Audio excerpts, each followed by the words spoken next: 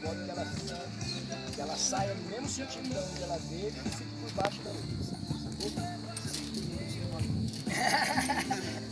Aí depois que eu faço, eu pego você enrola assim, deixa entendeu?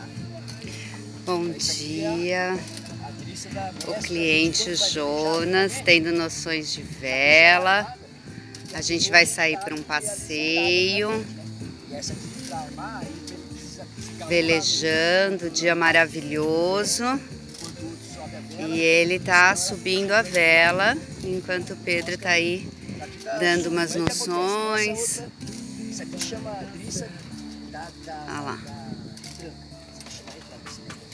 Então, pra gente ficar batendo a cabeça, eu deixo ela pra cima.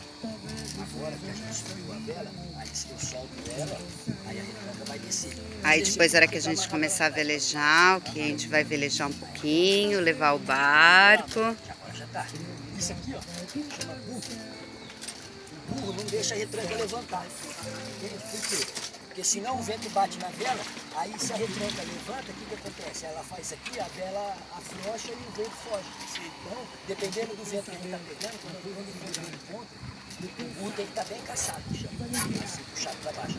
Quando é vento a favor, assim, ela vai deixar um pouco mais folgado, porque essa barriga aí daí que a vela faz, é, na verdade, Olha que legal aí, todo mundo aprendeu um monte de coisa. a gente coloca a vela de modo que o vento espalhe na vela, não bate em cheio, o vento tá contra. Quando a gente está de vento a favor, aí a gente pega o vento ali onde a Ângela está, ou aqui atrás mesmo,